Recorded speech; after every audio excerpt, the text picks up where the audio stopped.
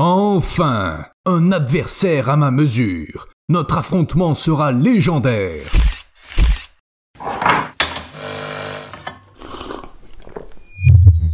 Quand on est un crocodile, manger une anguille électrique est l'une des pires idées qui soit.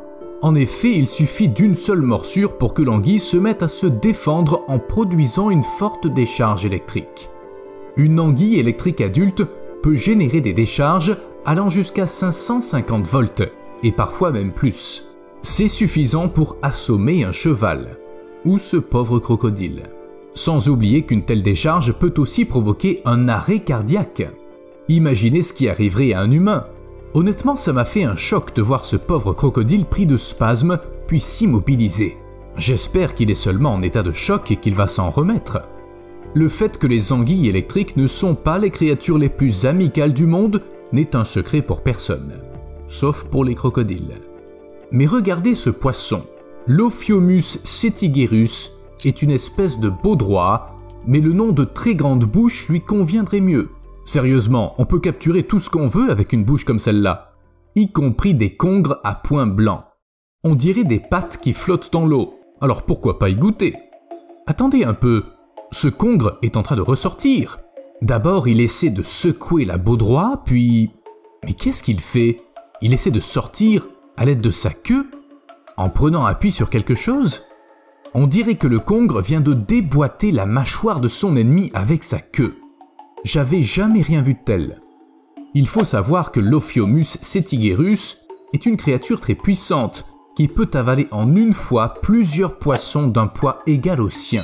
Les baudrois sont capables de dévorer presque n'importe quel poisson, oiseau, tortue de mer ou invertébré. Je sais pas lequel des animaux mentionnés dans cette liste me surprend le plus.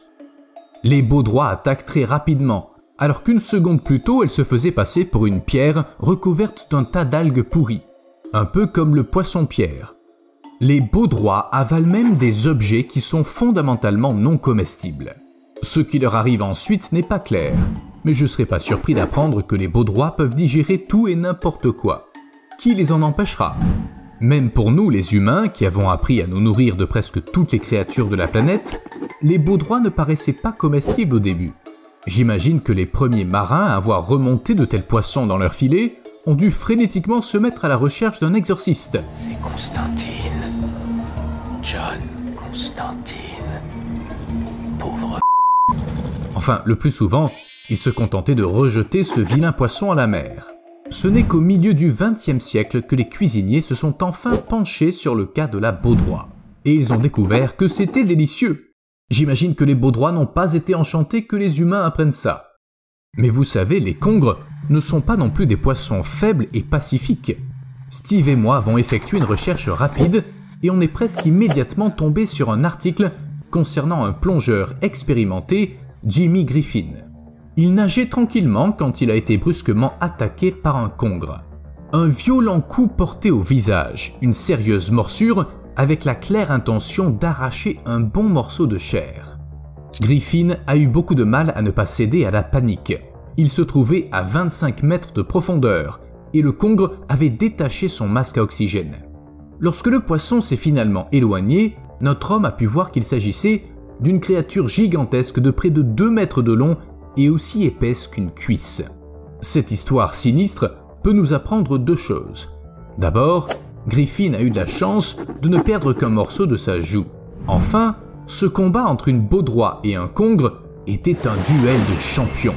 Et le congre en est sorti victorieux. Mais revenons sur la terre ferme pour le moment. Le lion, le roi des animaux, le symbole de l'Afrique et tout ça eh bien, ce fier prédateur ne fait pas le poids face à un pangolin. Vous en avez déjà vu? Ça ressemble à une grosse pomme de pin très mignonne, en aucun cas capable de résister à une attaque de lion. Et pourtant, les prédateurs se retrouvent souvent dépourvus face à lui.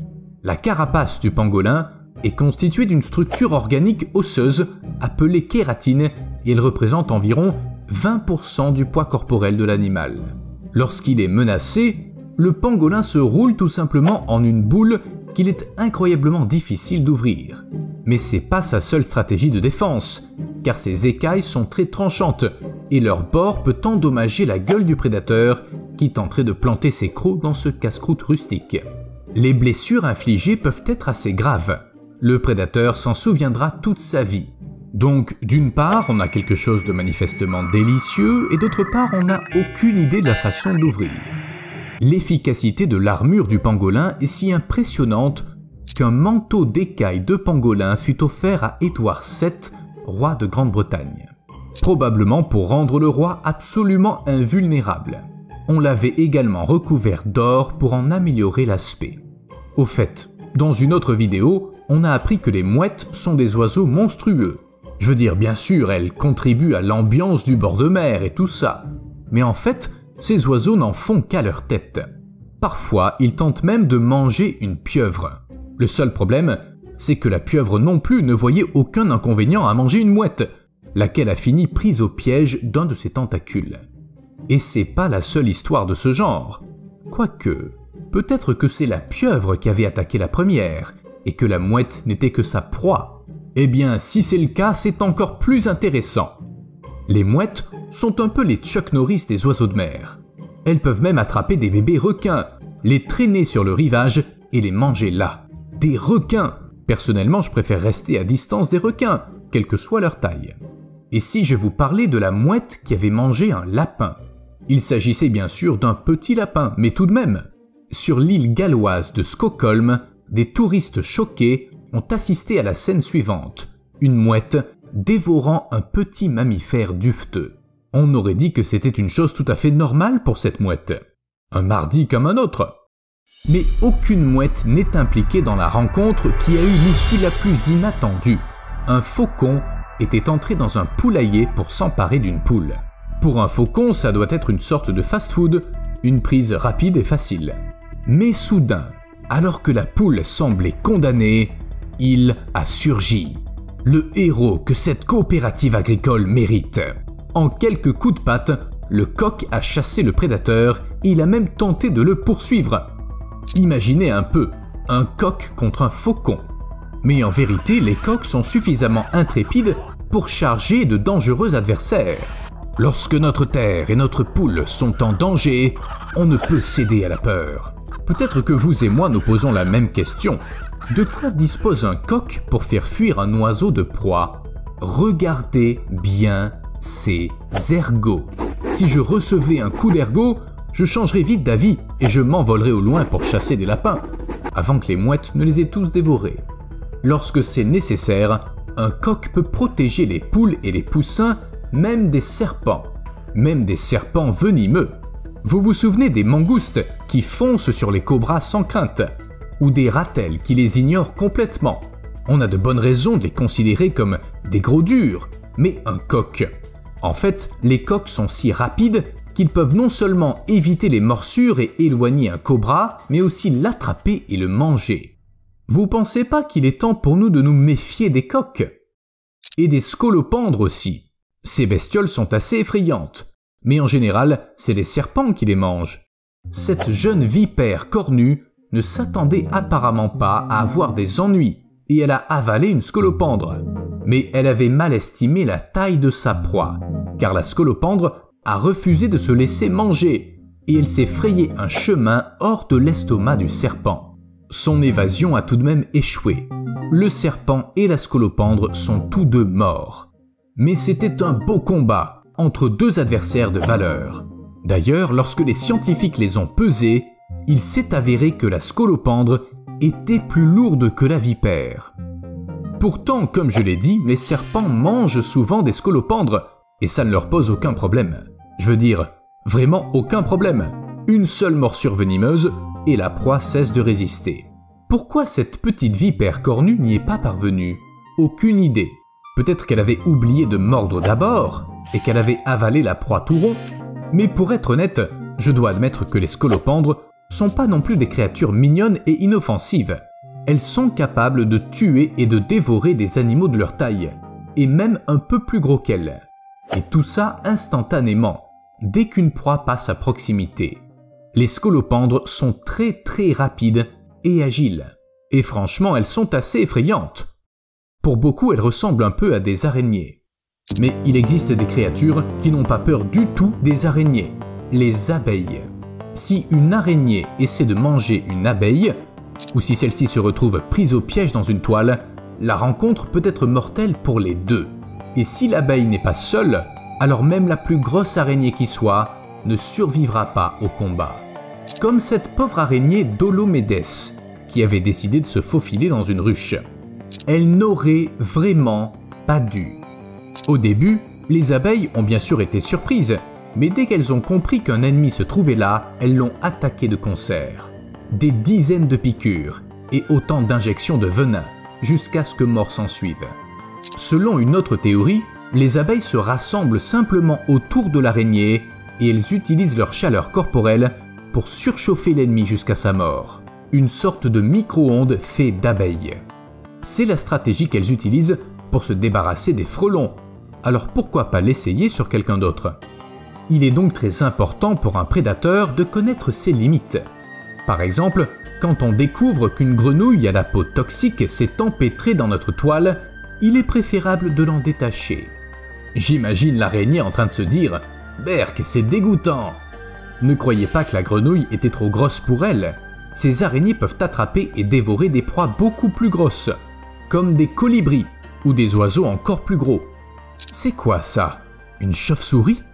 Waouh Mais un colibri est un colibri, et une grenouille toxique n'est vraiment pas le meilleur choix de dîner qui soit.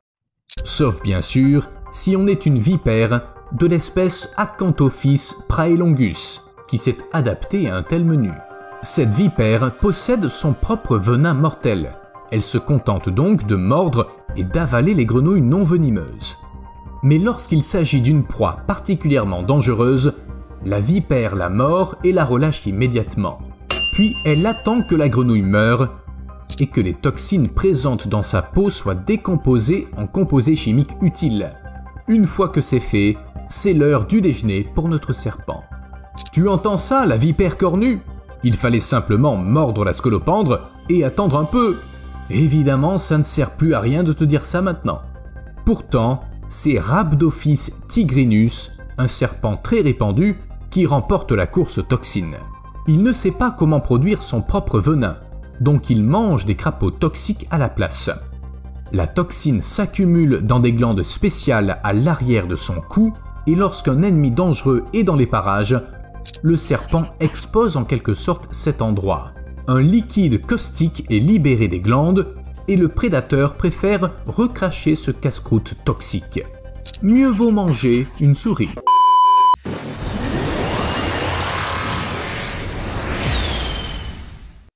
Oui, c'est bien un poulet à quatre pattes, et il est devenu un véritable phénomène dans le nord-est de la Thaïlande. Tout a commencé lorsqu'un éleveur a acheté 1000 poules pour les mettre dans un poulailler. Jusque-là, c'est ce qu'on fait toujours quand on achète des poules, mais l'une d'elles avait quatre pattes au lieu des deux habituelles. En 15 ans de pratique, l'éleveur n'avait jamais rien vu de tel.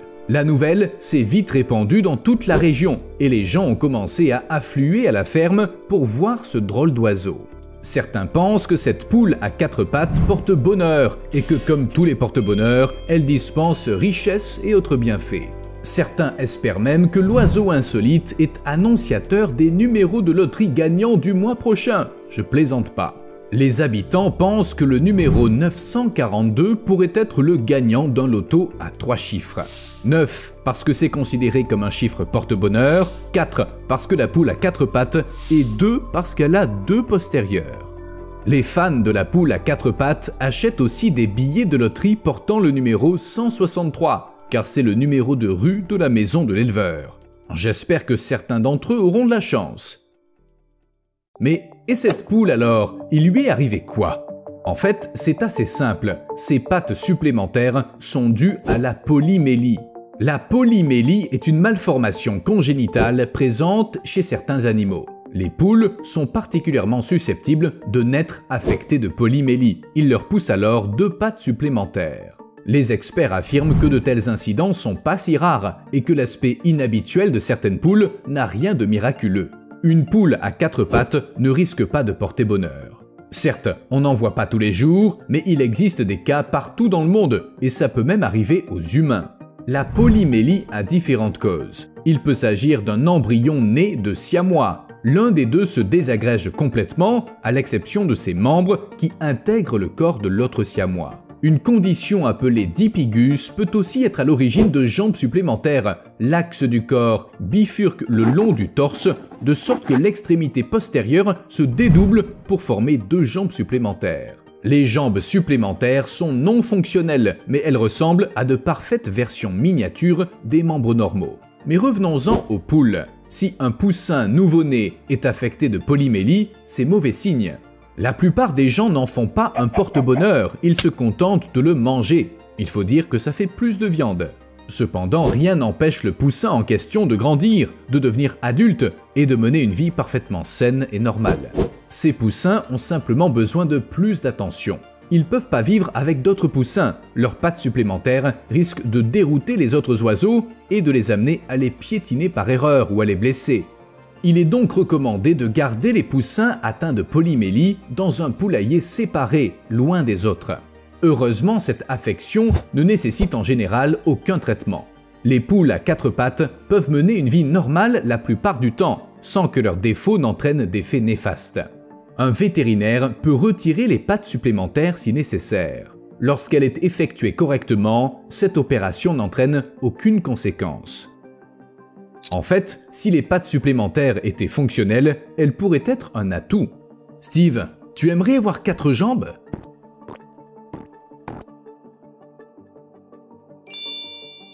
Sérieusement, ces membres supplémentaires pourraient par exemple nous éviter des problèmes de dos. C'est d'ailleurs l'une des plaintes les plus fréquentes des patients auprès de leur médecin près de 65 millions d'Américains se sont plaints récemment de mal de dos. Environ 16 millions d'adultes souffrent de douleurs dorsales persistantes ou chroniques qui les handicapent au quotidien. Si les humains avaient quatre jambes, la situation irait sans doute mieux.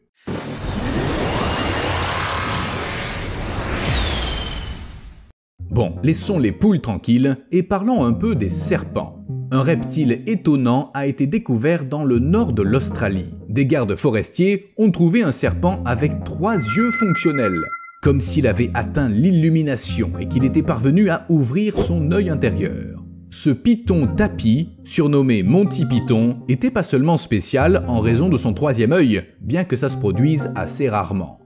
Les radios ont montré que la mutation n'était pas le résultat de deux têtes fusionnées, mais plutôt d'une troisième orbite qui s'était développée naturellement. Selon les responsables du parc, l'œil supplémentaire s'est sûrement développé au stade embryonnaire.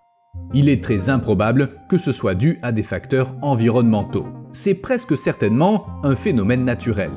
Contrairement à la poule à quatre pattes, Monty a dû faire face à de sérieux problèmes.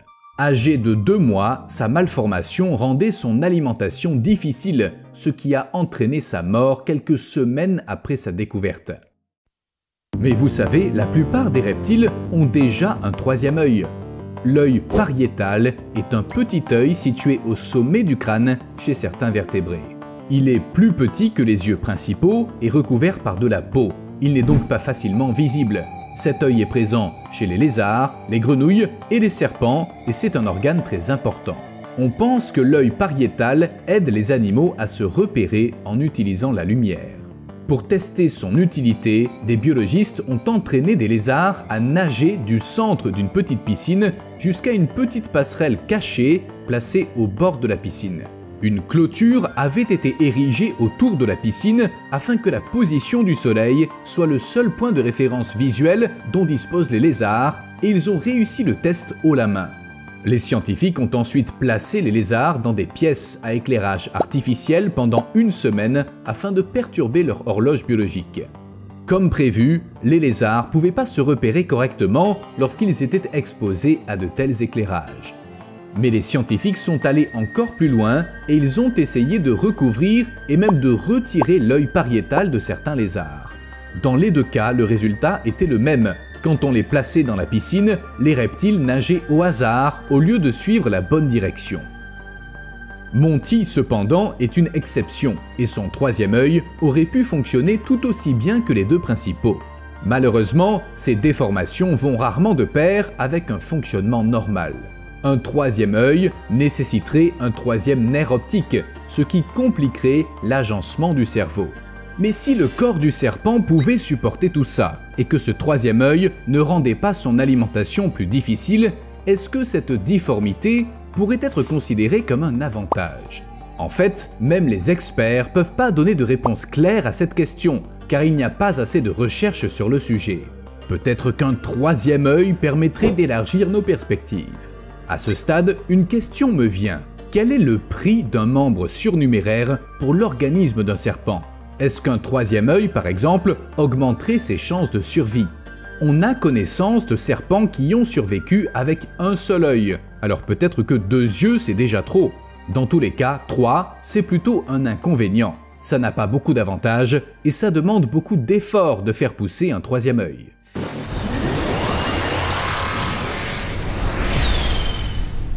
Parlons maintenant de la tortue lutte. C'est la plus grande de toutes les espèces de tortues. Elle peut atteindre 2,50 m de long et son poids peut dépasser 900 kg.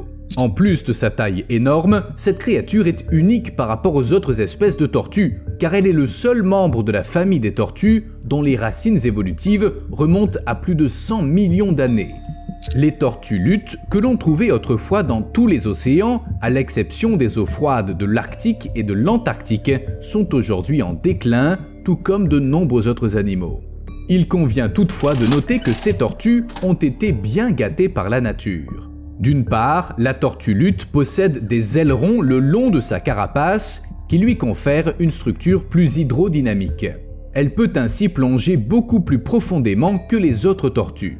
Par ailleurs, cet étonnant reptile possède un ensemble unique d'adaptations qui lui permettent de générer et de maintenir une température corporelle élevée même dans l'eau froide. Encore récemment, on pensait d'ailleurs qu'elle avait un métabolisme au repos incroyablement élevé, trois fois plus élevé que ce qu'on attendrait d'un reptile de cette taille. Des études plus récentes remettent toutefois en question cette idée, mais ça ne change rien au point précédent. Cela dit, comparé aux adultes qui sont super cool, les bébés tortues luttes sont complètement impuissants. Les petites tortues sont minuscules, entre 5 et 8 cm de long, et elles ne reçoivent aucune aide de leurs parents. Pas étonnant qu'à peine une tortue de mer sur 1000, voire une sur 10 000, survivent jusqu'à l'âge adulte. Mais leur taille n'explique pas tout. Les bébés tortues doivent compter sur leur sens pour survivre, et c'est un problème. Les tortues luttes ont une mauvaise vue et les bébés meurent souvent parce qu'ils sont incapables de trouver le bon chemin. Cependant, ceux qui parviennent à survivre finissent par s'adapter à leur vision et par réussir à chasser en eau profonde, par exemple en recherchant toutes sortes de créatures bioluminescentes.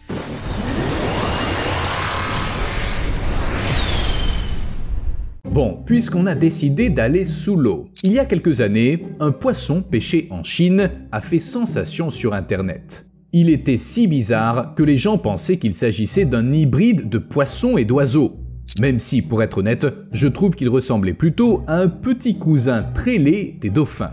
Quoi qu'il en soit, les experts ont identifié le poisson comme étant une carpe commune, rien à voir avec les oiseaux donc, mais elle présentait certains défauts de développement. Les experts ont supposé que sa tête étrange s'était formée en raison de problèmes de croissance cellulaire précoce. Un gonflement causé par des déformations du squelette dans cette zone avait sûrement provoqué l'inclinaison de la bouche du poisson vers le bas. Pour poursuivre leurs recherches, les experts ont dû se contenter de vidéos et de photos, car ils n'ont pas pu mettre la main sur ce spécimen unique. Il est probable que cette carpe ait été exposée à des produits chimiques nocifs présents dans l'eau qui ont perturbé la croissance normale de l'embryon, déclenchant une cascade d'effets secondaires dans la machinerie cellulaire. La tête bulbeuse du poisson pourrait également être le signe d'une tumeur à croissance rapide. Mais à part sa tête, la carpe semblait parfaitement saine. L'espèce appartient aux poissons benthiques, qui se nourrissent en aspirant la boue au fond de l'eau et en recrachant ensuite tout ce qui n'est pas comestible. Quand la bouche se trouve sous le corps, c'est encore plus pratique.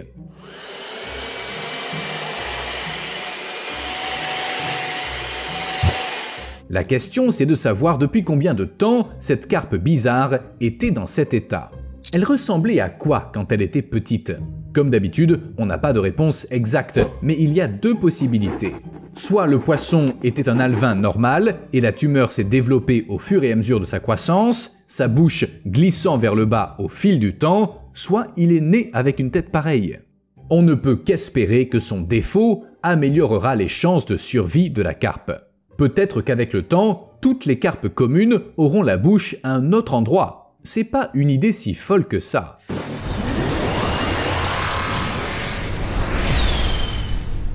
Le requin marteau a évolué pendant des centaines de millions d'années avant de devenir l'une des créatures les plus reconnaissables de l'océan. Mais peu de gens savent que la forme inhabituelle de la tête du requin marteau est due à un défaut génétique qui pourrait remonter à seulement 15 millions d'années. C'est pas beaucoup à l'échelle de l'évolution. Pour expliquer cette théorie scientifique en termes simples, ça donne ça. Le plus ancien ancêtre de ces requins a un jour donné naissance à un bébé requin au visage déformé. Cette étrange mutation a si bien permis au bébé requin de survivre dans son environnement qu'elle a été transmise de génération en génération. C'est ainsi que le requin marteau est apparu à cause d'un défaut accidentel. Cette mutation a permis au requin marteau de prospérer car sa tête de forme bizarre lui offre un champ de vision beaucoup plus large que celui des autres requins. Ça lui permet de localiser plus facilement les proies et de mieux surveiller les environs, ce dont tout chasseur a besoin pour chercher de la nourriture ou pour se défendre. Bien sûr, ça a aussi un inconvénient. En raison de l'emplacement inhabituel de ses yeux, le requin marteau n'est pas aussi performant que les autres espèces pour déterminer la distance des objets environnants. Imaginez que vos yeux soient à la place de vos oreilles. C'est une situation délicate. Pour compenser cette limitation, la nature a doté le requin marteau de récepteurs électriques supplémentaires qui lui permettent de détecter les champs électriques émis par les proies et les prédateurs tapis dans l'obscurité. Cette tête étrange permet également au requin marteau de mieux nager et manœuvrer dans l'eau.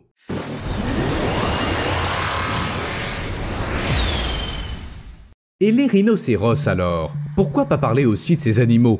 Après tout, la nature leur a procuré des adaptations assez inhabituelles. Et si par exemple, ils n'avaient pas le même nombre de cornes?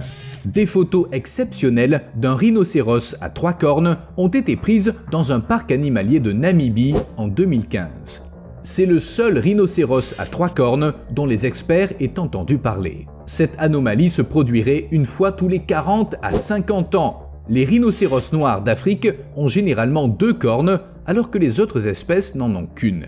Cette troisième corne est sans doute le résultat d'une division des cellules in utero, en d'autres termes, une mutation il est peu probable que l'animal en soit incommodé et il la transmettra sans doute pas à sa progéniture. En fait, les rhinocéros utilisent leurs cornes à plusieurs fins, notamment pour défendre leur territoire, protéger leurs petits des autres rhinocéros et des prédateurs, prodiguer des soins maternels et chercher de la nourriture. Les cornes les aident à creuser le sol à la recherche d'eau, à casser les branches. Une corne supplémentaire pourrait-elle leur être utile? Eh bien, si on regarde de près, on peut voir que cette corne est assez petite et un peu tordue. Mais si elle grossit, ce rhinocéros pourrait devenir plus dangereux que ses congénères à deux cornes, donc avoir plus de succès. Un tel rhinocéros pourrait aussi être pris pour cible par les braconniers, et sa corne supplémentaire serait alors plutôt un fardeau qu'un avantage évolutif.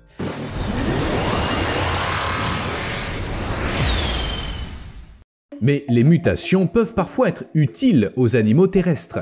Il est communément admis que les ours noirs américains ont la fourrure noire, ce qui les rend difficiles à confondre avec tout autre animal. Cependant, certains ours noirs ont un pelage de couleur brun-rouge, comme s'ils étaient roulés dans la cannelle. C'est sûrement une mutation, mais elle doit avoir une explication, non? Les scientifiques ont deux théories pour expliquer ça. La première suggère qu'une mutation ou une recombinaison de gènes est à l'origine de cette fourrure de couleur cannelle, afin d'aider les ours à réguler leur température corporelle. Selon la deuxième théorie, cette couleur est apparue pour imiter l'apparence des grizzlies. Tout le monde veut ressembler à un grizzly, non? C'est des durs à cuire. Toutefois, aucune de ces théories n'a encore été confirmée par des données scientifiques. Les chercheurs pensent aussi que leur fourrure brune aide les ours à échapper aux prédateurs en se fondant mieux dans l'environnement des États du sud-ouest où ils vivent. Et ça les aide certainement à chasser. Il est quand même plus facile d'attraper une proie quand elle peut pas nous voir. Si vous entendez le nom léopard de mer et que vous imaginez une sorte de petit phoque dufteux vous regardant avec de grands yeux façon dessin animé, détrompez-vous. Il s'agit en fait d'énormes prédateurs agressifs pesant jusqu'à 600 kg, dont seuls les orques n'ont pas peur. Des léopards de mer ont attaqué à plusieurs reprises des explorateurs et des pêcheurs, causant parfois leur mort. En bref, il vaut mieux pas leur chercher des poux. Sachant ça, l'histoire que rapporte le photographe Paul Nicklen semble incroyable. Ce photographe a raconté avoir étudié ces prédateurs sauvages malgré le danger qu'ils représentent, et il a affirmé qu'une femelle léopard de mer lui avait donné à manger un manchot. Oui, je suis sérieux. Au début, la femelle jouait avec le manchot et le laissait nager tout près de Paul pour qu'il l'attrape. Bien sûr, ça n'a pas fonctionné. Le prédateur a ensuite assommé un peu le manchot pour faciliter sa capture, mais le photographe ne voulait toujours pas le manger. Bizarre, non? Puis le léopard de mer s'est mis à tourner autour de lui en tenant le manchot dans sa gueule, jouant avec sa nourriture, avant de le lancer au photographe. Ça n'a pas marché non plus. Que voulez-vous faire de plus quand un humain est ignorant à ce point de ce qu'il faut faire d'une proie? Il ne reste qu'à donner au photographe un manchot mort et ensuite à le regarder d'un air courroucé. Je l'imagine dire Qu'est-ce que tu veux que je fasse d'autre? Que je le prémâche pour toi? Pourquoi cette femelle voulait nourrir un humain stupide, incapable d'attraper un manchot tout seul Peut-être qu'elle jouait son rôle de mère, à la manière des léopards de mer. Après tout, ils aiment jouer avec leur proie, et parfois de façon brutale. Comme les morses. Vous serez peut-être surpris d'apprendre que les morses sont en fait des créatures enjouées. En tout cas, moi je l'ai été. Car quand on voit une créature pesant une tonne et demie à deux tonnes, on s'attend pas vraiment à ce qu'elle ait le sens de l'humour. Pourtant, les morses en ont un, et il est très particulier. Voyez vous-même, parfois les morses s'approchent furtivement des oiseaux posés sur l'eau et les font fuir. D'autres fois, ils plongent sous les oiseaux et surgissent brusquement hors de l'eau, tentant d'empaler un oiseau peu méfiant avec leur défense. Peu importe l'espèce, du moment qu'il s'agit d'un oiseau aquatique. Une précision importante, les morses font pas exprès de tuer leurs jouets. D'ailleurs, Parmi 74 cas de tels jeux recensés, un seul a entraîné la mort d'un oiseau. Mais il n'est pas nécessaire pour les morses de jouer avec quelque chose de vivant. Certains morses utilisent des carcasses rejetées à l'eau par des oiseaux prédateurs ou emportés par la marée. Les règles du jeu sont indéniablement très intéressantes. Le morse entraîne les restes d'un pauvre oiseau sous l'eau, il les regarde remonter à la surface, puis les entraîne à nouveau sous l'eau, et ainsi de suite. Il arrive aussi aux morses de se battre pour une carcasse d'oiseau en essayant de se l'arracher l'un à l'autre, comme une sorte de ballon. Eh bien, ils ont l'air de vraiment s'amuser. Comme Maduri, une femelle éléphant indienne, qui comme tous les éléphants est certainement très intelligente. Assez intelligente pour attraper un petit varan, le tenir par la queue et faire tourner le pauvre animal. Comme c'est amusant Maduri est considérée comme une experte pour attraper les lézards, et elle aime particulièrement les varans, mais on ne s'attend quand même pas à ce qu'un animal en attrape un autre et le transporte pendant plusieurs jours, le lançant, le laissant tomber, puis le ramassant et le lançant à nouveau. Au début, le varan était encore en vie, mais on ignore comment ça s'est terminé. Je doute qu'il ait passé un bon moment. Les jeux des corvidés sont plus à mon goût. C'est pas de simples oiseaux, mais des petites créatures sournoises. Imaginez que vous êtes, euh, disons, un chien qui fait sa vie tranquillement quelque part dans un parc, quand soudain quelque chose vous mord la queue. Vous êtes bien sûr scandalisé par ce comportement. Vous vous retournez et l'oiseau s'envole. Et ils peuvent faire ça plusieurs fois de suite. Les corvidés sont tout simplement les plus gros trolls du règne animal. Bien sûr, les scientifiques ont eu besoin de comprendre pourquoi les oiseaux font ça. Et ils ont réussi. On pense qu'il s'agit d'un comportement inné, car il a été observé même chez les corvidés élevés par des humains. En fait, c'est un moyen astucieux de tromper les plus gros prédateurs et de les éloigner de la nourriture ou de les taquiner et de provoquer l'agression. Honnêtement, je sais pas pourquoi les oiseaux font ça. Peut-être simplement pour échapper à leur juste châtiment et s'envoler en riant de satisfaction. Bon d'accord, tous les jeux que j'ai mentionnés se produisent entre des animaux d'espèces différentes et sans consentement mutuel. Qu'en est-il des animaux de la même espèce qui jouent ensemble? Les animaux peuvent-ils jouer sans utiliser des cadavres de mouettes? La bonne nouvelle est que oui, ils le peuvent. La mauvaise nouvelle, c'est que ça ne veut pas dire pour autant que tout le monde en ressort indemne. Prenons les béliers par exemple. Ils se cognent souvent la tête, et pas uniquement au cours de combats sérieux. Les béliers adolescents font ça pour jouer. Vous savez, comme des ados humains qui se bousculent en s'amusant. Mais les béliers font ça avec leur crâne, et parfois ils y vont trop fort. Cornes comprises, leur crâne peut peser jusqu'à 14 kg, le même poids que tous leurs autres os réunis. De plus, lorsque les animaux foncent l'un sur l'autre, leur vitesse atteint parfois 64 km/h, et leur choc produit un son qu'on peut entendre à un kilomètre de distance. Et si l'un des béliers s'avère plus fort que l'autre, ce dernier aura la nuque brisée. Une telle histoire est arrivée lors d'un combat entre une chèvre et une vache. Et devinez qui est le dessus. Perdu, c'est la chèvre qui a gagné. Et il a suffi d'un seul coup. On dirait qu'elle non plus ne s'attendait pas à ce résultat. Mais même lorsque les animaux échappent à une mort instantanée par collision, ces jeux peuvent se terminer de manière tragique. Surtout quand des béliers y prennent part. Parce que, vous savez, certains d'entre eux passent beaucoup de temps sur des pentes raides y compris pour se battre ou pour jouer. Et j'ai pas besoin de vous dire quelles peuvent être les conséquences quand on tombe d'une falaise.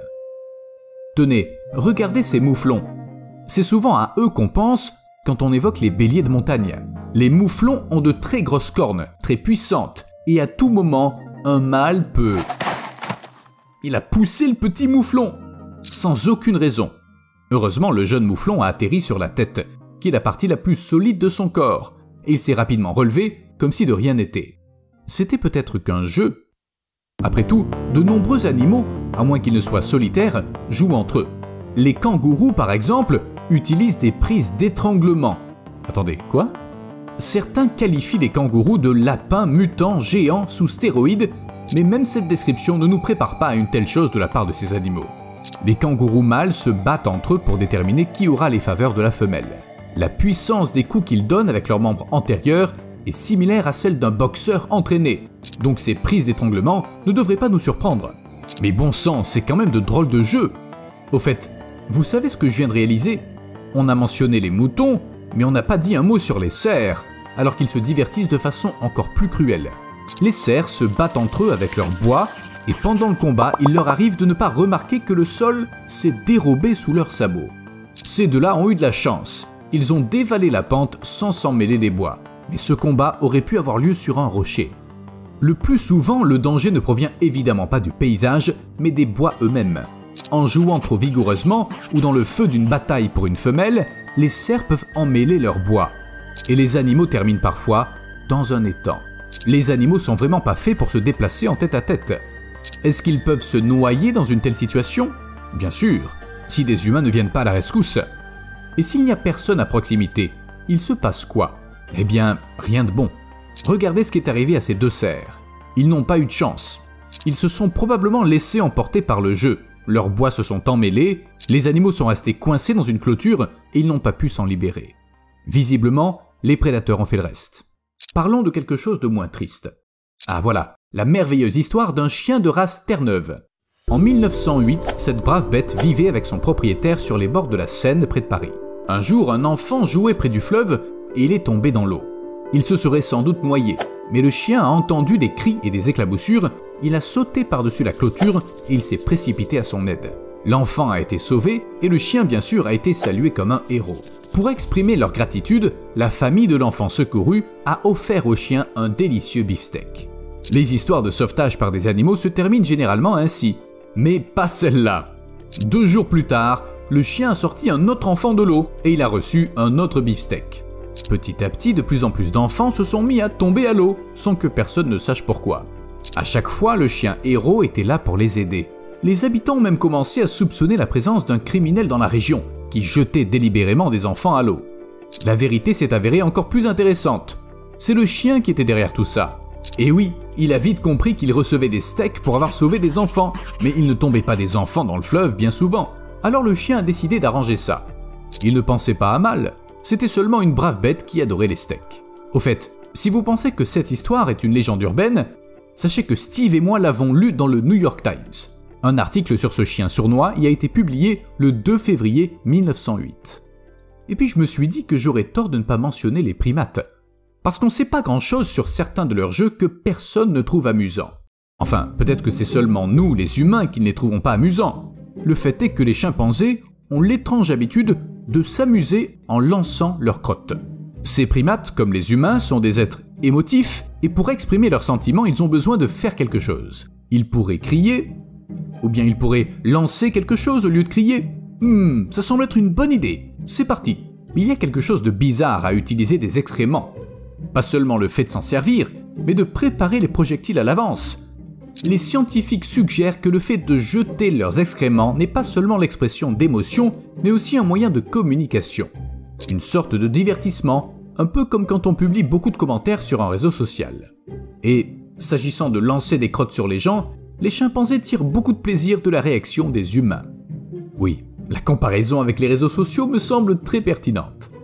Enfin, il faut admettre qu'on n'est pas surpris de voir un chimpanzé lancer sur les gens des trucs dégoûtants. Mais imaginez ça, vous vous rendez à l'embarcadère pour monter dans votre bateau pour aller pêcher par exemple. Et soudain, vous voyez un énorme morse pas de panique, c'est simplement Wally. Il se reposait probablement sur un gros iceberg qui a dérivé jusqu'aux côtes de la Grande-Bretagne et de l'Irlande. Ainsi, Wally s'est réveillé dans des eaux inconnues. À sa place, n'importe qui aurait été confus. Il n'y avait de glace nulle part pour s'allonger. Mais Wally s'est adapté. Il a entrepris de grimper sur les bateaux. Une tonne ou presque qui s'abat sur un petit bateau. Naturellement, les bateaux ont commencé à couler. Wally en a coulé au moins deux, puis il s'est éloigné. Quoique, qui sait, peut-être qu'il n'était pas seul. Et si c'était tout un groupe de morses qui s'amusait à jouer à la bataille navale Ça me surprendrait pas. Voici un goéland, un oiseau puissant et agressif qui peut nous arracher un sandwich de la main, emporter un chihuahua, attaquer un enfant et répandre des déchets partout. Mais même en sachant tout ça, on ne s'attend pas à ce qu'un goéland survive à une flèche qui lui transperce le corps. Cet oiseau coriace a été repéré dans la ville britannique de Poole. Le lendemain, il a été capturé et amené dans une clinique vétérinaire. Les vétérinaires ont eu la surprise de constater que non seulement le goéland volait avec une flèche de 71 cm plantée dans le corps, mais que la pauvre bête avait été également touchée par un tir de pistolet à air comprimé et qu'elle vivait avec un plomb à l'intérieur du corps depuis un certain temps. Bien que coriace, le goéland avait besoin d'aide car il ne pouvait plus décoller. Et pour cause, il avait une flèche plantée dans le corps. Bien entendu, on a retiré la flèche et le service de protection des animaux s'est mis à la recherche du propriétaire de la flèche dont l'empennage était très particulier. Mais c'est rien comparé au goéland repéré dans la ville de Scarborough en 2010, un carreau d'arbalète dans la tête. C'est pas pour rien que j'ai dit qu'on l'a seulement repéré, car on n'a pas réussi à attraper l'animal blessé le goéland a continué à voler comme si de rien n'était, alors que l'animal était manifestement dans cet état depuis plus d'un mois. Bien sûr, les défenseurs des droits des animaux étaient très inquiets. Un type armé se promenait dans la ville en tirant sur des goélands. C'est un euphémisme de dire que c'est illégal, et honnêtement, c'est... Enfin, c'est pas bien. Mais si on fait abstraction de ça pendant une seconde, imaginez un oiseau qui se fiche complètement qu'un carreau d'arbalète est planté dans sa tête. Qu'est-ce que c'est que cet animal?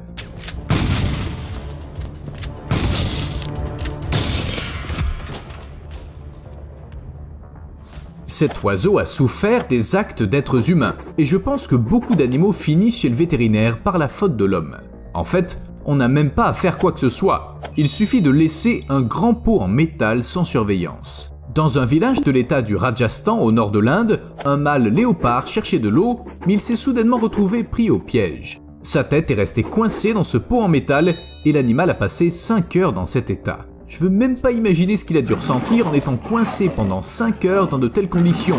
Confus, effrayé, impuissant. Brrr. En fin de compte, on a pu endormir le léopard avec un tranquillisant et retirer le pot à l'aide d'une scie. L'animal n'a pas été blessé et semble-t-il, il n'était pas plus contrarié que ça. Un python birman nommé Houdini a dû être opéré parce qu'il avait avalé une couverture chauffante. En entier, avec le cordon et la télécommande. Son propriétaire a admis avoir laissé la couverture à côté d'Houdini pour garder le python au chaud. Mais apparemment, le dîner du serpent s'est retrouvé coincé dans la couverture, ce qui n'a pas gêné Houdini. Ouais, c'est facile de confondre un lapin et une couverture avec des fils. Gardez à l'esprit qu'il s'agit d'un python, et qu'ils sont incapables d'avaler quelque chose par accident sans s'en rendre compte. Comme ça arrive aux chiens. Il est probable qu'Houdini ait mis 6 heures à avaler la couverture, mais pour une raison quelconque, il ne s'est pas interrompu ou peut-être qu'il ne pouvait pas. En tout cas, il a fallu une opération de deux heures pour extraire la couverture.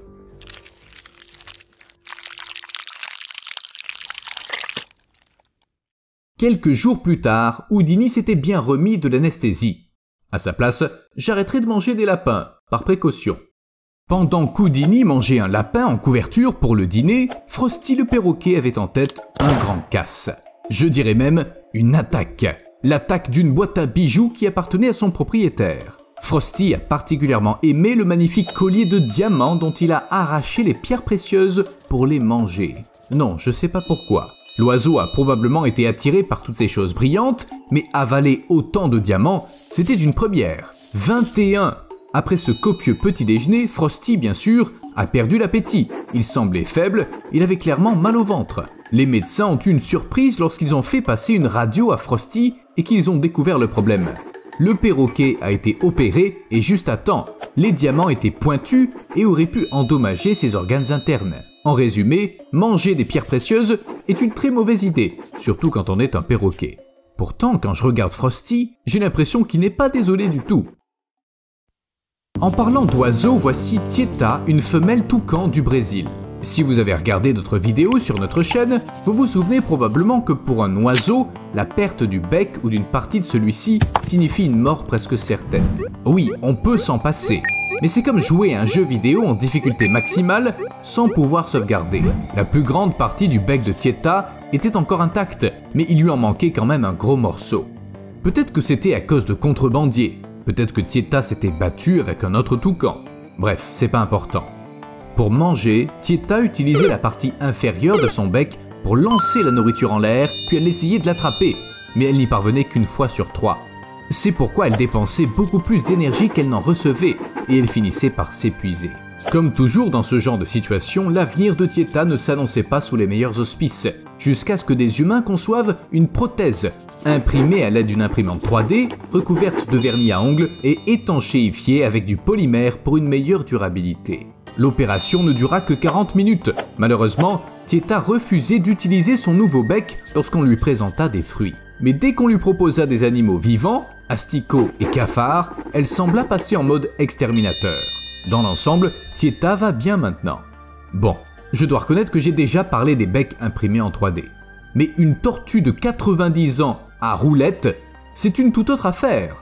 Ce vieil animal nommé Madame T a perdu ses deux pattes avant à la suite d'une attaque de rat alors qu'elle hibernait.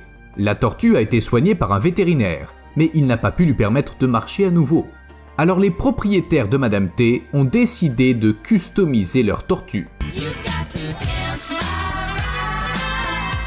Deux roues d'un avion miniature fixées à sa carapace permettent à Madame T de se déplacer deux fois plus vite qu'avant. Elle pousse avec ses pattes arrière et semble très heureuse même si c'est difficile à déterminer en observant le visage d'une tortue. Comme les tortues vivent longtemps, Madame T demeurera la plus rapide représentante de son espèce pendant encore une cinquantaine d'années. Tout ce dont elle a besoin, c'est de changer les pneus de temps en temps. En 2021, on a trouvé près de la ville russe de Nijni Novgorod 7 chiens au pelage bleu. Les photos sont devenues virales le 11 février. On a emmené les animaux chez le vétérinaire et peu après, des chiens aux poils verts ont été repérés dans une autre ville non loin de Moscou. Une coïncidence Ou y a-t-il un lien mystérieux qu'on n'arrive toujours pas à identifier?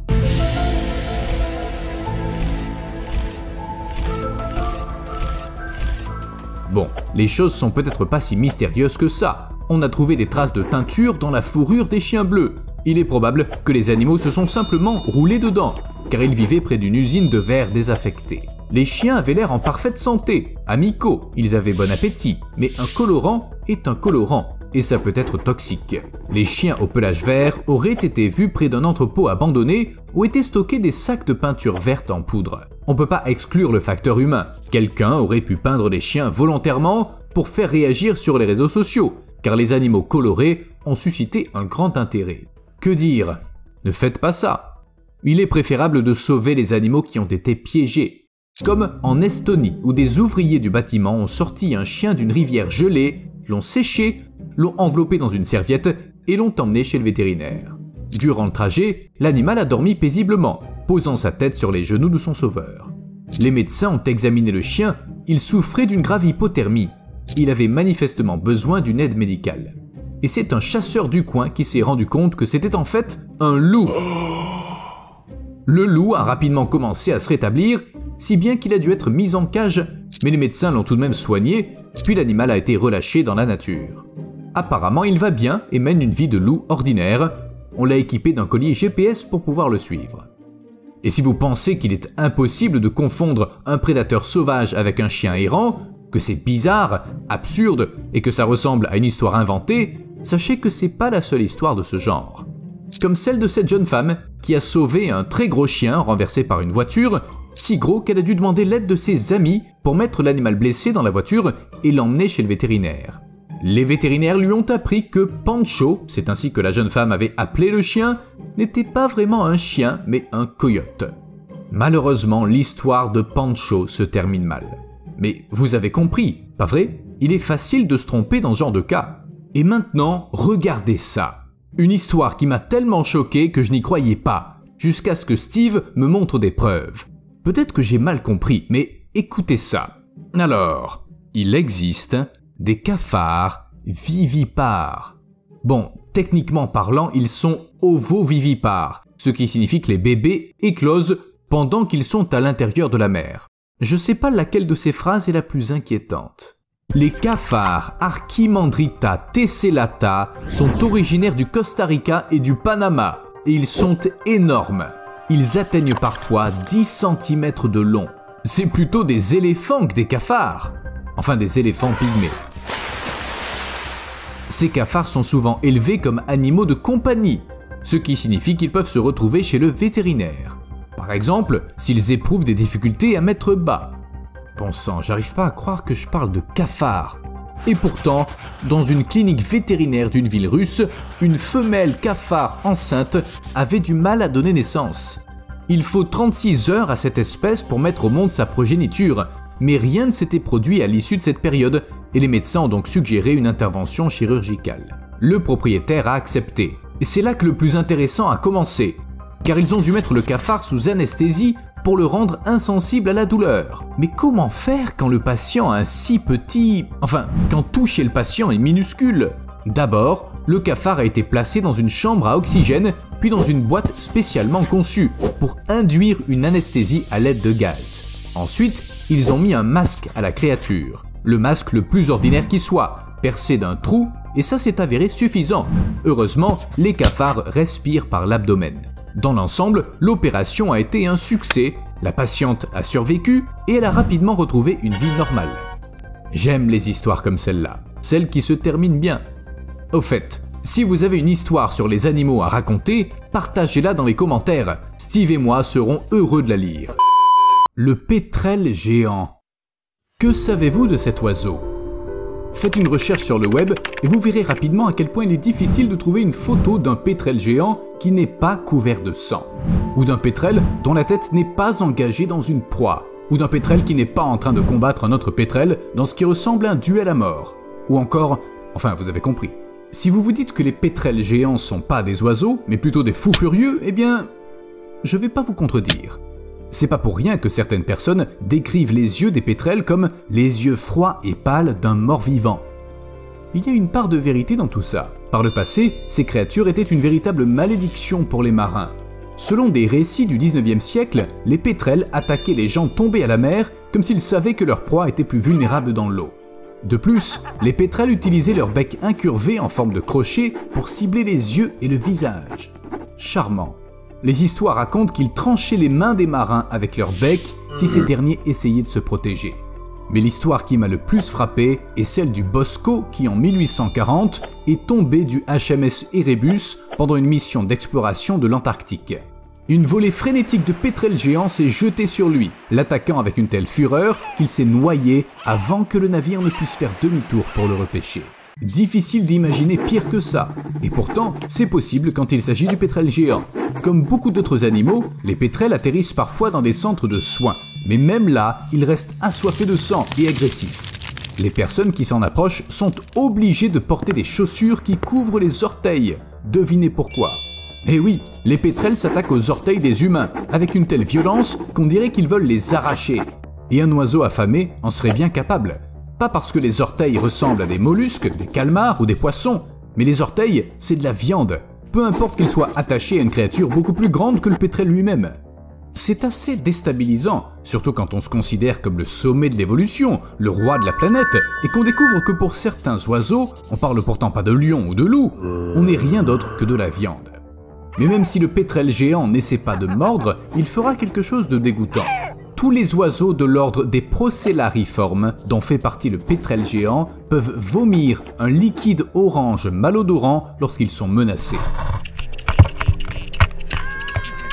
Mais oui, un pétrel effrayé, ce même oiseau capable de noyer un humain, peut vomir.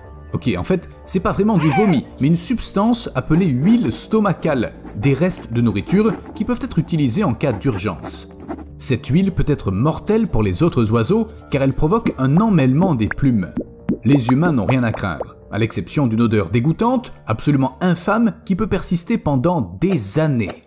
J'espère que vous n'avez pas essayé de visualiser ça, ou du moins que vous n'étiez pas en train de manger. Cependant, aussi dégoûtant ou même cruel que puissent être les pétrels, il est facile d'expliquer leur comportement. Quand un oiseau a faim, il mange. Et quant à ce qu'il considère comme de la nourriture, c'est pas son problème. Les corbeaux sont pas comme ça. On en voit parfois jeter des pierres sur les passants et les voitures pour s'amuser, simplement parce que c'est divertissant. En 2012, dans une région de Russie, un groupe de corbeaux a eu l'idée d'une activité très intéressante.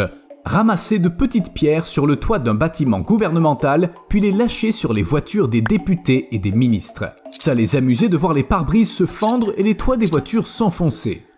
Des témoins ont raconté qu'après avoir jeté une pierre, les corbeaux retournaient sur le toit pour en prendre une autre. Mais c'est rien encore comparé à ce qui s'est passé au Japon dans les années 2000. Selon un article publié dans le New York Times le 6 mai 2008, une véritable guerre a éclaté entre les humains et les corbeaux à cette époque.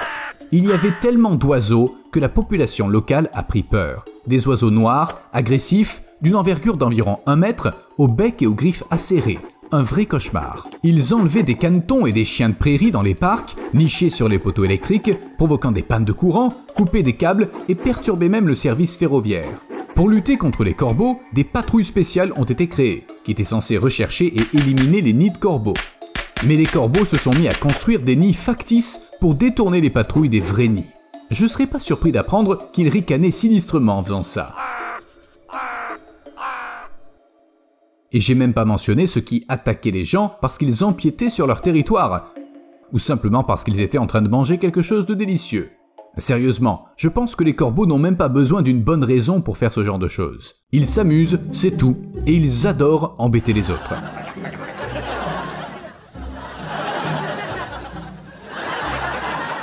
Bien que personne ne connaisse le nombre exact de corbeaux au Japon, les experts en oiseaux affirment que leur population a augmenté de façon spectaculaire depuis les années 1990. C'est peut-être à cette époque que les corbeaux sont devenus si audacieux.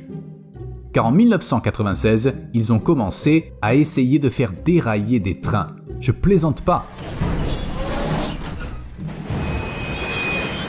Pendant longtemps, la police ne comprenait pas comment les vandales, qui déposaient des pierres sur les rails, parvenaient à franchir la clôture de près de 2 mètres de haut. Il fallait qu'ils grimpent, qu'ils déposent une pierre, puis qu'ils s'échappent, sachant qu'un train passait toutes les 3 minutes. Le criminel était si rapide qu'on aurait dit qu'il pouvait voler. Imaginez la surprise de la police lorsque les caméras ont effectivement filmé le criminel en train de voler. C'était un corbeau. C'était peut-être pas toujours le même oiseau, mais il savait exactement ce qu'il faisait. Le corbeau voulait déposer des pierres sur les rails, alors il le faisait. Est-ce que ça risquait de causer un accident? Aucune idée. Après tout, on n'interroge pas un oiseau. Non, on ne peut pas interroger un oiseau. Pourtant, les corbeaux peuvent apprendre à parler. Mais rien ne garantit qu'il ne nous dira pas simplement d'aller nous faire voir. Il suffit d'écouter cet enregistrement réalisé en 1987.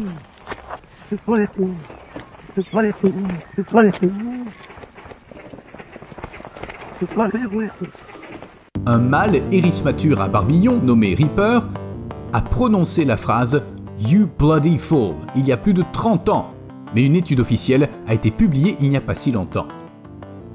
Parce que ce canard parlant était un phénomène. Les gens pensaient que les perroquets et les corbeaux pouvaient imiter la parole humaine, mais pas les canards. Cependant, Reaper, qui vivait en Australie, dans la réserve naturelle de Tidbinbilla près de Canberra, savait non seulement jurer, mais il imitait aussi parfaitement le bruit d'une porte qui se ferme.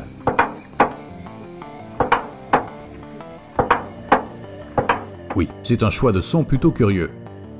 On peut comprendre comment notre canard s'est familiarisé avec le bruit de la porte, mais j'ignore qui lui a appris à jurer. Le gardien de l'enclos où le jeune Reaper avait éclos puis grandi devait grommeler dans sa barbe. Ou bien le canard a eu de mauvaises fréquentations, comme des corbeaux. Si vous suivez ma chaîne depuis longtemps, vous avez probablement réalisé que littéralement tout peut arriver dans la nature. Oh, et au fait, Reaper était aussi connu pour imiter des sons pendant la saison des amours. Sa connaissance de la langue d'une autre espèce a dû beaucoup impressionner les femelles. Au moins, cette histoire suit une certaine logique. Je veux dire, le canard ne jurait pas par plaisir, contrairement à cinq perroquets jacots qui vivaient dans un zoo britannique. Ils avaient été récupérés par le zoo auprès de différents propriétaires et placés en quarantaine avant d'être exposés au public. Et puis, quelque chose est arrivé. On ne sait pas exactement lequel des oiseaux a appris aux autres à jurer, mais lorsque les perroquets ont été transférés dans l'enclos commun, ils se sont mis à proférer un flot d'hurons. Avec beaucoup d'enthousiasme. La réaction des gens faisait le bonheur des oiseaux. Si l'un des visiteurs ou des employés du zoo riait ou avait l'air choqué, les perroquets appréciaient. Ils continuaient de plus belle. Il fut décidé de retirer les oiseaux de l'enclos commun. Après tout, il y avait des enfants parmi les visiteurs du zoo. Mais il est vite apparu que même sans visiteurs, les oiseaux continuaient à jurer. La seule différence, c'est qu'un des perroquets jurait, les autres riaient, et ainsi de suite. Finalement, il a fallu séparer les perroquets pour que d'autres oiseaux aient une influence positive sur eux, qu'ils les aident à apprendre la politesse. Il y a quand même un risque que ça se retourne contre nous. Ces hooligans pourraient apprendre aux autres oiseaux leurs obscénités. Et on aurait alors 250 oiseaux jureurs dans le zoo. Le directeur du zoo, Steve Nichols, a admis en toute honnêteté qu'il ne savait pas ce qu'il ferait si ça devait se produire. Et puis je me suis dit, après tout, si des perroquets jurent en public, surtout devant des enfants, il s'agit probablement d'une violation de l'ordre public. Est-ce qu'on peut arrêter des oiseaux pour ça? Steve et moi avons réussi à trouver au moins un cas qui s'est produit en Inde. Janabai Sakarkar, une femme âgée de 85 ans, a déclaré à la police qu'elle était constamment insultée par un perroquet nommé Arial. Chaque fois que la femme passait devant la maison de son beau-fils, le propriétaire du perroquet, celui-ci se mettait à l'abreuver de toutes sortes de mots obscènes. La police évidemment a bien ri, mais tout en essayant de rester professionnelle. Elle a convoqué tout le monde au poste. Et quand je dis tout le monde, je veux bien dire tout le monde, y compris le perroquet. Cependant, une fois au poste, l'oiseau n'a pas dit un seul mot, ni insulté la femme. Peut-être qu'il n'avait pas l'intention de parler sans son avocat. Quoi qu'il en soit, la police a arrêté l'animal et l'a remis au service des eaux et forêts pour qu'il soit rééduqué.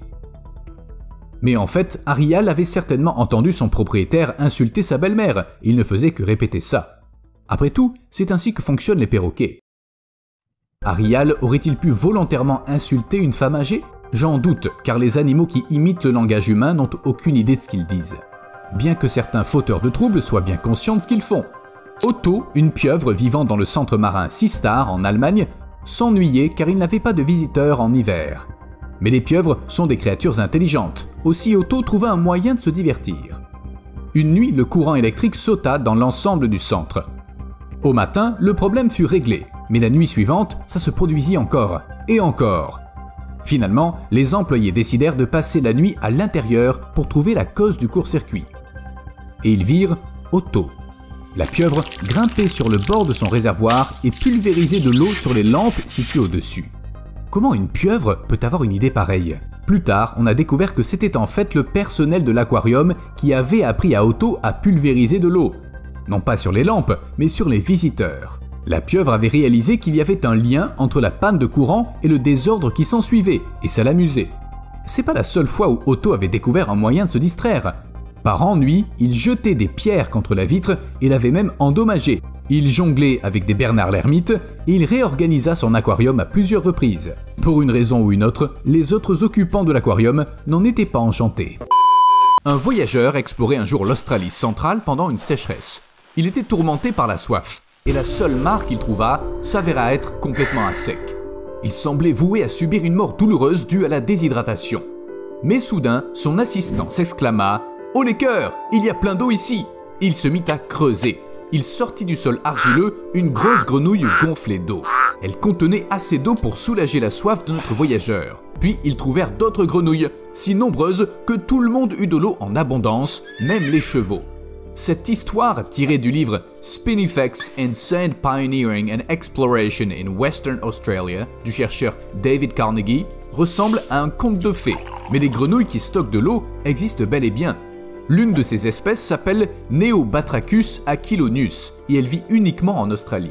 Pendant la saison sèche, elle s'enfouit dans le sol où elle forme une sorte de cocon afin de conserver l'eau à l'intérieur. Quand on ne sait pas à quoi ressemble la cachette de cette grenouille, difficile de la trouver, mais les aborigènes d'Australie ont leur secret.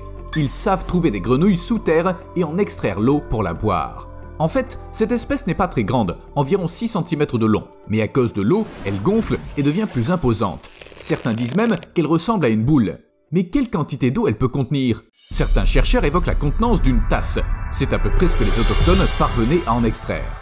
Enfin, différents scientifiques avancent des chiffres différents. L'un d'eux parle de 200 ml, d'autres de 10 à 25 ml.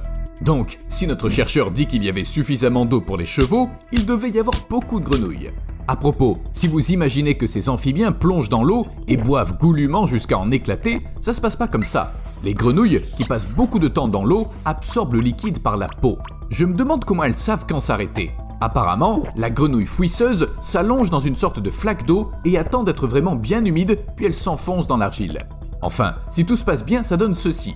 La grenouille reste à environ 30 cm de profondeur jusqu'à ce que les pluies arrivent, ce qui ramollit son cocon. Puis elle en sort pour faire ce que les grenouilles font habituellement, chasser, se reproduire, ce genre de choses. Sauf si des indigènes assoiffés trouvent la grenouille avant. Ça semble bizarre, mais ils arrivent à repérer les grenouilles profondément enfouies simplement en suivant leurs traces ou en frappant la surface du sol avec un bâton. J'imagine que quand il y a une grenouille sous le sol, ça sonne creux. Un autre moyen est de bien taper du pied sur le sol et d'écouter. Parfois, la grenouille coasse faiblement en réponse. Ok, disons qu'un homme a déterré une grenouille, il a bu toute sa réserve d'eau, et après Comment survivre pendant une sécheresse si notre ressource la plus importante nous a été littéralement arrachée? Eh bien, en fait, les indigènes essaient de réenterrer soigneusement la grenouille comme s'ils prévoyaient à long terme, au cas où ils auraient besoin d'eau plus tard. Mais une grenouille sans eau pendant la saison sèche est vouée à la mort. Elle survivra sans doute plus longtemps sous terre qu'à la surface, mais le résultat sera le même. C'est un peu triste, bien sûr, mais c'est une question de survie. Pendant une sécheresse, les hommes et les animaux souffrent de la même manière. Mais contrairement aux grenouilles, les aborigènes australiens ont un autre moyen d'obtenir de l'eau. Le niaouli a toujours été un arbre très important pour la population indigène d'Australie.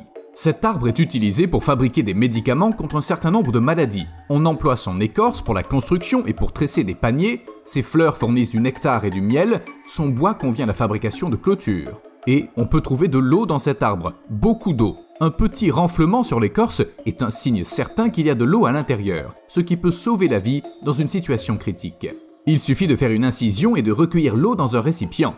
On peut boire cette eau en toute sécurité. L'arbre la filtre et élimine toutes les bactéries. Et il la rend aussi un peu sucrée, probablement pour qu'elle soit délicieuse. Imaginez être les premiers colons dans un territoire entièrement inexploré. Bien sûr, il faut un endroit où vivre et quelque chose à manger. Un jour, on est tranquillement en train de déterrer des légumes quand on remarque tout à coup un poisson. Il n'y a pas de rivière à proximité, et puis comment un poisson pourrait se retrouver sous terre? Mais il est vivant Les premiers colons de Nouvelle-Zélande ne savaient pas qu'ils étaient tombés sur un kowaro, l'une des créatures les plus insolites de ces îles. Lorsque les marécages s'assèchent en été, les poissons s'enfouissent dans le sol et y demeurent, respirant de l'air, jusqu'à ce que les premières grosses pluies d'automne les fassent sortir. En gros, c'est comme avec les grenouilles dont on vient de parler. Peu d'espèces de poissons dans le monde peuvent survivre pendant de longues périodes hors de l'eau. Le kowaro était autrefois le poisson le plus abondant en Nouvelle-Zélande. Les populations locales avaient ainsi toujours de quoi se nourrir. À certains endroits, le kowaro est même appelé le trésor des tribus locales, et c'est un titre bien mérité. Imaginez, ça semble être la méthode de pêche la plus facile du monde. Je veux dire, bien sûr, creuser le sol peut être difficile, mais au moins on n'a pas à attendre.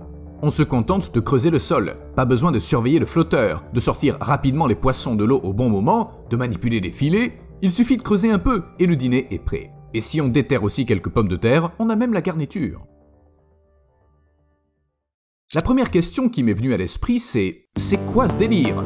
C'est quand même pas des bœufs qu'on a gonflés Bien sûr que non, c'est simplement leur peau.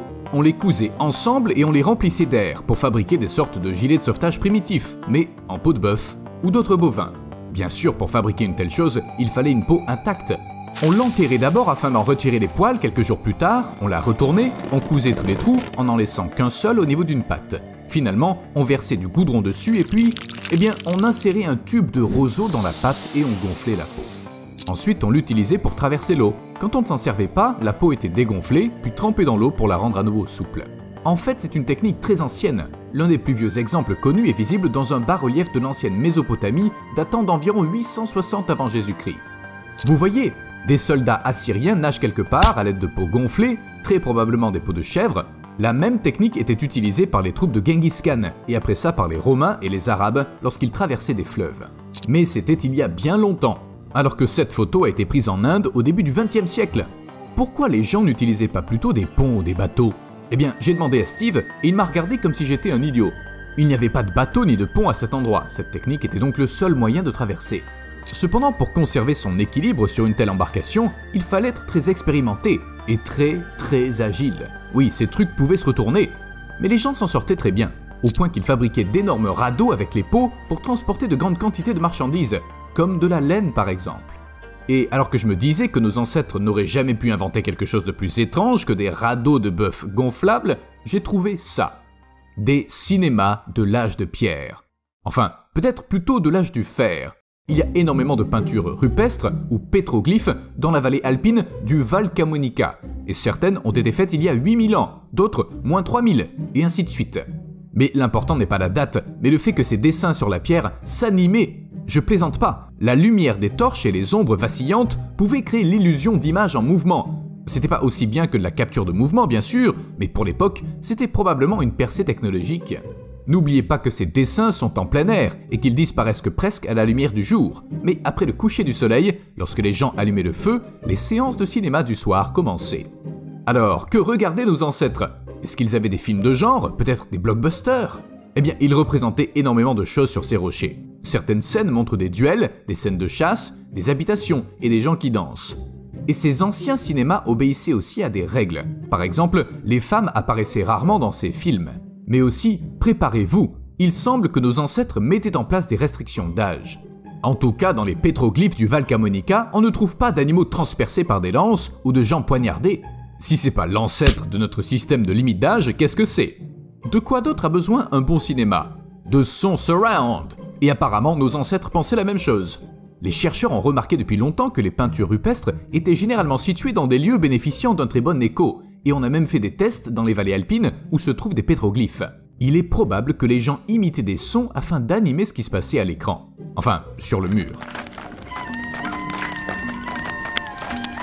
Wow, oh C'est ma scène C'est ma scène Et oui, c'est comme ça que nos ancêtres s'amusaient. Et enfin, une chose que vous me réclamez depuis si longtemps. Tigre contre lion. Deux redoutables prédateurs, mais lequel d'entre eux l'emportera? Avant tout, examinons leurs dimensions. À cet égard, nos deux félins ne sont pas si différents, mais regardez leur poids. En moyenne, les tigres pèsent environ 360 kg, les lions seulement 250. Et c'est pas une question de graisse, les tigres ont simplement plus de muscles, et plus de muscles égale plus de force, ce qui semble condamner les lions à la défaite. Mais c'est que de la théorie, et en pratique. Dans la Rome antique, il n'était pas rare d'opposer des tigres à des lions, et les gens pariaient le plus souvent sur les tigres. On n'a que peu de preuves, après tout c'était il y a très longtemps, mais on a quand même trouvé d'anciennes représentations des vainqueurs et quelques données sur les paris. Vous pensez que l'époque du Colisée est un mauvais exemple? Pas de problème. À la fin des années 1800, Gaekwad de Baroda, un souverain indien, a organisé un combat entre un lion et un tigre. Je sais pas pourquoi, peut-être qu'il s'ennuyait. La cote était de 37 000 contre 1, le tigre étant donné gagnant, mais le Maharaja paria quand même sur le lion et il perdit 37 000 roupies. Vous en voulez encore? En 2011, un tigre qui s'était introduit dans l'enclos des lions du zoo d'Ankara a donné un puissant coup de patte à son adversaire. Un seul coup. On peut pas vous montrer les images à cause des conditions d'utilisation de YouTube, mais les griffes ont sectionné une veine du cou du lion et l'animal est mort. Pourtant, ces exemples ne valent pas grand-chose d'un point de vue scientifique. La puissance doit être mesurée dans la nature, pas quand il y a un tas de gens autour qui regardent, qui sentent fort et qui font du bruit. Mais le fait est qu'on n'a aucune idée de la façon dont ces deux prédateurs agiraient s'ils se rencontraient par hasard. Les tigres et les lions ne vivent tout simplement pas au même endroit. Cependant, à une époque, des scientifiques avaient envisagé de déplacer quelques lions vers les territoires où vivent les tigres, mais ils ont ensuite changé d'avis. Ils craignaient que ces quelques tigres décident de tuer leurs rivaux. Bien sûr, une troupe entière de lions peut faire face à un tigre solitaire, mais dans toute autre situation, je parierais sur le tigre. A plus